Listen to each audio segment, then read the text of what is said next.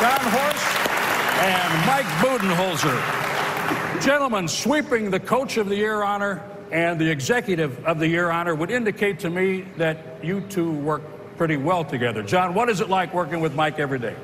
Uh, there's no doubt. I think we work great together. He's been an unbelievable partner. Um, I think he would agree. It has a lot to do with the other award that we got, also the MVP on our on our team. So, uh, great partner. Thankful to have him. What an amazing addition to our organization, and uh, look forward to many years to come.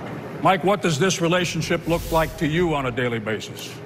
Yeah, it's it's been incredible working with Jon. Uh, you know, the roster he put together, um, everything he's given us to be uh, successful, and I think his openness to uh, you know my coaching staff, to me, learning from each other, having great debates, uh, figuring out what's best for our team, what's best for our organization.